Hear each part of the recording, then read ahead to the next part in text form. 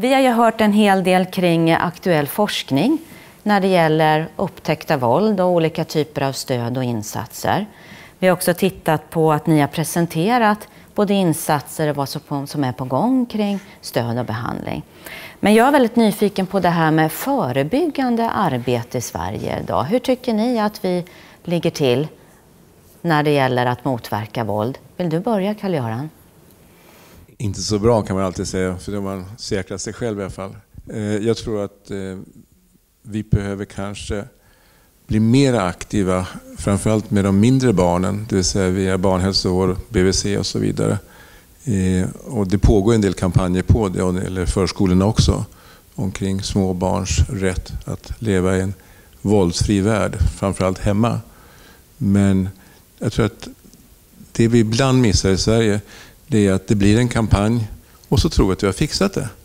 Det här är en ständig, ständig pågående process. Det vill säga uthållighet är nog det vi saknar. Annars finns det, tror jag, rätt mycket bra idéer och bra program. Men de måste ha nu, eh, långlivad och förstås förnyas emellanåt. Men eh, mera kan göras. När det gäller de äldre barnen så tror jag att då kommer vi tillbaka mer till det vi har pratat i andra sammanhang om. En förändrad sexualundervisning. Nu pratar vi våld, men vad jag menar, vi ska ha en sexualundervisning i Sverige som heter relationsundervisning. Där våld och mobbing, allt möjligt, hur vi förhåller oss till varandra ska ingå, inklusive sexualiteten förstås. Och, det skulle jag vilja, och där är vi mycket sämre skulle jag säga när det gäller de mindre barnen.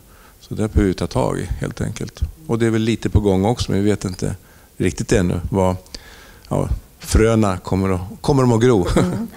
Har Bengt eller Åsa någonting ni vill komplettera? Ja, jag står och tänker på att det har hänt mycket också. Man eh, har jobbat ett tag med de här frågorna och eh, man tittar tillbaka decennier så är ju medvetenheten i allmänheten högre. Eh, fler vet att det är skadligt med våld, fler vet hur vanligt det är med övergrepp. Och så. Folk som jobbar med barn och ungdomar vet mer. Så. Sen tror jag också det här att vi fastnar i en fråga också. Och jag tror att när vi som samhälle sviktar så tar ibland eh, eh, allmänheten över. Metoo-kampanjen är ju en fantastiskt förebyggande kampanj till exempel. Vill du säga något?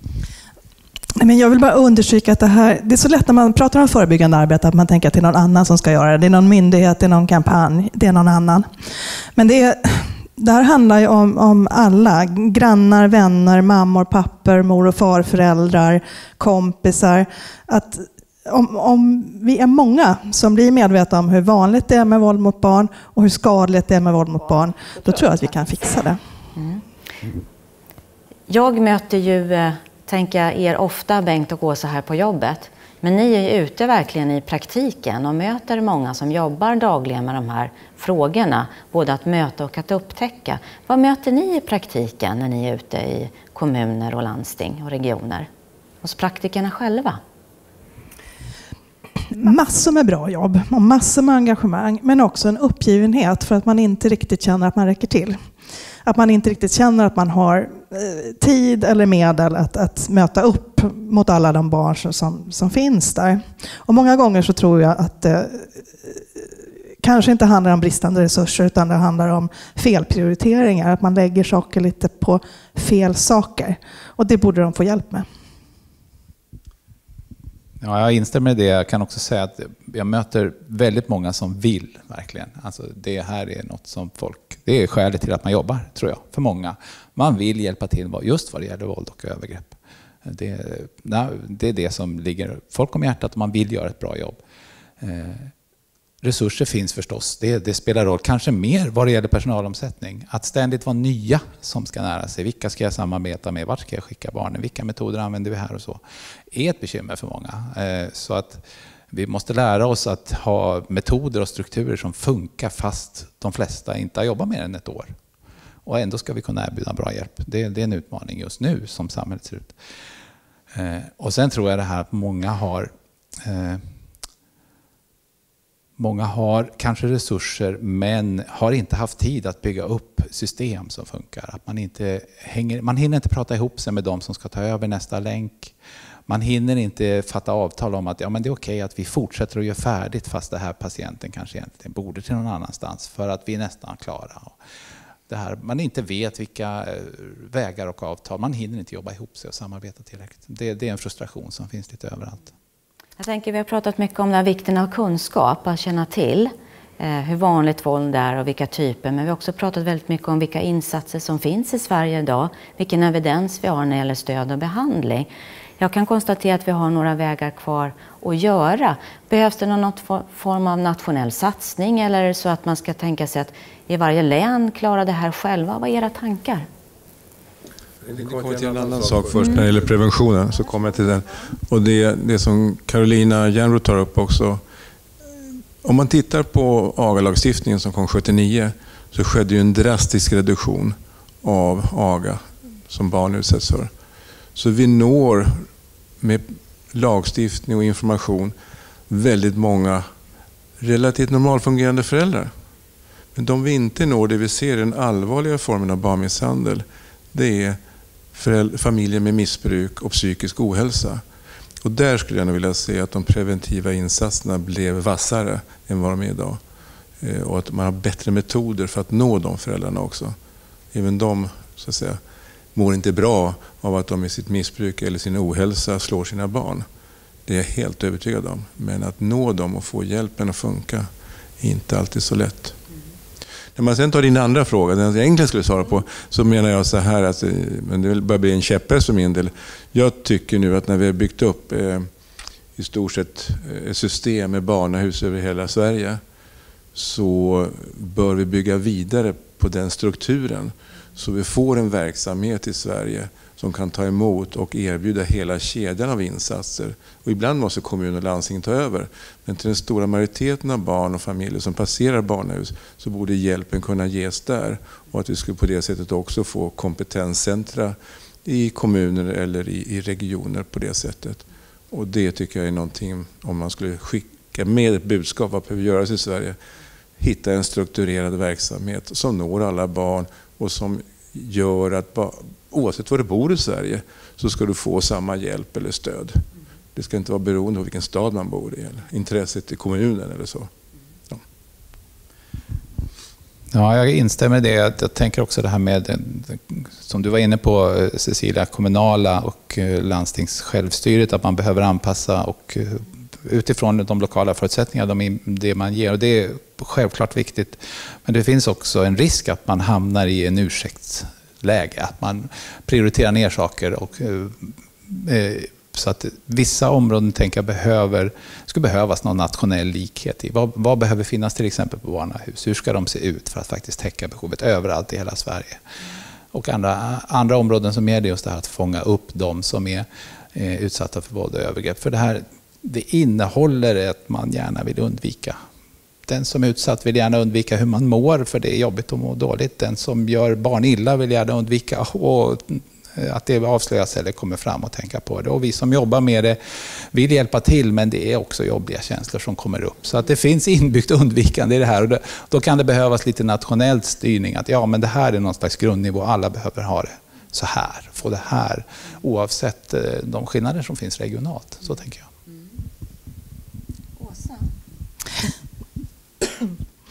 Det är ofta man hamnar i diskussioner om resurser, speciellt när man börjar prata om hur många barn det här är. Alltså hur ska vi ha råd, hur ska vi ha möjlighet att ta emot allihop? Och där, det är ju tankefel. Det är precis tvärtom. Våld mot barn kostar hur mycket pengar som helst för vårt samhälle. Och framförallt så kostar det så oerhört mycket lidande för de vuxna och de barn som, som, som blir utsatta. Så det handlar inte om, om, om vi har råd att, att ta hand om det här, utan det handlar om om vi har råd att låta bli. Vi kan inte fortsätta att nonchalera det här och att låta bli. Eh, för det blir för dyrt för oss. Jag tänkte jag ska gå tillbaka till den här rapporten som eh, vi inledde dagen med, med Karina Jernbro som presenterade våld mot barn. Eh, och där är det ett antal barn som har varit med och besvarat de här frågorna. Och jag tänker, finns det någonting som vi behöver utveckla i Sverige när det gäller forskning till att göra sådana här typer av undersökningar där vi låter barn och unga komma till tals för att lära oss mer? Ja? Vad tänker du Åsa? Du nickade ja. Ja, det finns många områden där som... Det, det, är fantastiskt med eh, att få siffror på saker och ting. Att höra av de här anonyma barnen som det är, vad de har varit med om i livet. Men sen behövs det fördjupas med, med mer kvalitativa undersökningar och intervjuer av barn. Där barn kan bli delaktiga kring Eh, att svara på frågorna kring varför så få är nöjda med stöd och behandling till exempel. Varför så få berättar om sin utsatthet. Jag tänker också på de kända riskgrupperna, att vi behöver fördjupa, eller de grupper där vi vet att det finns en ökad risk. Funktionshindrade, hbtq-personer, eh, personer i samhällsvård, eh, flyktingar, migration och så. Och också när vi intervjuade runt i våra fem regioner så var det Eh, tydligt att eh, professionella är oroliga för de grupperna också, men inte når dem. Man är knuffas. Så, ja, men jag tänker att mer fördjupad kunskap till dem och verkligen eh, utbyggda verksamheter kring dem. Där, där vet vi för lite också. Forskaren? Ja, jag skulle vilja säga så här. Jag skulle vilja se studier som kombinerar eh, kvantitativ forskningsmetodik som de här stora undersökningarna vi har gjort. Där vi också ur det materialet kan intervjua barn så vi förstår vad de egentligen svarade på och vi kan få mera kunskap. För det är inte säkert att man gör en studie som är med mängder av barn, lite anonymt då, och så gör man en intervjustudie här borta, att man svarar på samma frågor, om du förstår vad jag menar.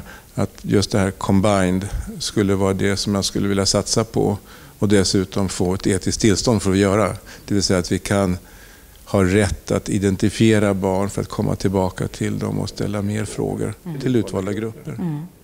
Jag tänker så här att det är väldigt många aktörer som jobbar kring de här frågorna. Vi har till exempel Nationellt kvinnofridscentrum, eller hur? Vi har länsstyrelserna, vi har många olika myndigheter som jobbar med frågorna. Men så har vi också Barnafrid i det unika uppdraget som ni har fått. Kan inte du berätta lite mer vad, vad Barnafrid har för uppdrag och hur man kan hitta information på er webbplats? Ja, eh, uppdraget är från regeringen då, från 2015 att samla och sprida kunskap till alla de professioner som jobbar med barn. Barnafrid låter ungefär som nu jobbar de med barnen, men vi jobbar faktiskt med de som jobbar med barnen. Och då gäller det att både samla och där kan vi säga att det är fråga om ta vara på den kunskap som redan finns ute. Vad andra har skrivit, vad finns det för modeller som är värda att föra vidare? Vad finns det för evidens på det? Och hur kan man så att säga aggregera kunskap så att det blir någonting som är en gemensam faktor som man kan ta. För ibland så är kunskap lite spretig. Det som också genererar kunskap, där vi ännu inte har riktigt kommit igång, det är några av oss som forskar, men vi skulle behöva generera mer ny och egen kunskap utifrån de frågeställningar som dyker upp i samhället. Så att vi är med forskningen också mer i tiden. Och där kan man säga då, då behöver vi ett kanske mer tydligt uppdrag och mera pengar för att kunna göra det. Eh, sen när det att sprida kunskap så jobbar vi väldigt mycket med ja, hemsidan som vi ska bygga om igen, säga, eh, som alltid behöver byggas om. Eh, och det andra är förstås med våra nätverk, att eh, med olika grupper av professionella. Och det är allt från behandlarnätverk till nätverket för barnahus i Sverige, till eh, barnskyddsteamen och vi håller också på att komma igång med socialtjänstnätverk. Vi har väldigt mycket ambitioner, behöver mera pengar och mera personal för att nå dit tror jag. Men framförallt skulle jag vilja säga att eh, att nå ut tycker jag nog är ständiga problemet. Man kan producera massor, men att veta att det används på något sätt. Där tycker jag också det finns... Det skulle också behöva beforskas på något sätt, eller kartläggas. Ja. Ja. Eh, vi har ju idag verkligen fått ta del av aktuell forskning och många konkreta verktyg. Och jag tänker att ni kan väl hålla upp några av de här publikationerna som ni har varit inblandade i, eller hur? Reklamrippor? Ja, men det är lite reklamripp och så här så gör vi så här. Det här är ju viktiga publikationer som eh, finns eh, och som gör att man kan ladda ner dem eller handla på Barnhusets webbplats. Så att Ta tillfället i akt när den här sändningen är slut att gå in på Barnhuset och beställ de längre publikationerna som är riktade både till vuxna men också så har vi mycket material som är riktade till barn och unga själva. Eh, det här var en, en sändning som vi gör just nu. Den här sändningen kommer gå att titta på igen, där man kan titta på valda delar. Det innebär också att eh, vi tänker så här, det här var ett axplock. Eh, det tänker vi presentera den 25 maj med en ny konferens kring det här temat som heter Våga se, våga agera. Den 25 maj i Södertälje som kommer återigen lyfta de här frågorna, men lite större. Med detta så vill vi från Stiftelsen Allmänna Barnhuset tillsammans med alla som är här på scenen och alla som har talat tacka för att ni har tagit tid, men framför allt så önskar vi er kraft och mod att våga fråga och lyssna. Tack! Tack.